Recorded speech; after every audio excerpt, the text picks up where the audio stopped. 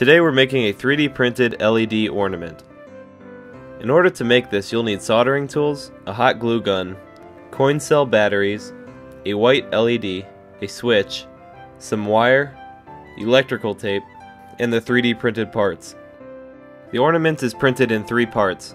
Mine was printed in translucent PLA plastic.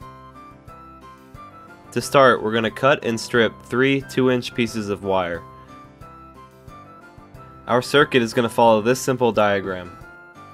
First, we're going to solder two wires to adjacent pins on the switch. Then take a wire from the switch and solder it to one of the pins of the LED. After that, attach our last wire to the other pin. With the electronics done, I used hot glue to place the switch in the container. Be careful not to get glue into the switch. Make sure it can still move properly. Next, take our little printed hook and put it in the slot in the container. Secure it in place with hot glue. After filming, I realized that stripping a longer part of the wire and spreading it out across the battery allowed for a better connection.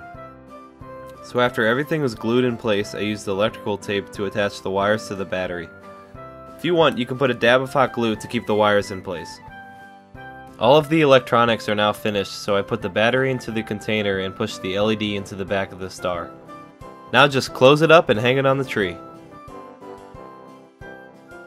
For more details, check the Instructables post below. And if you're interested in seeing more videos like this, please subscribe. Thanks for watching.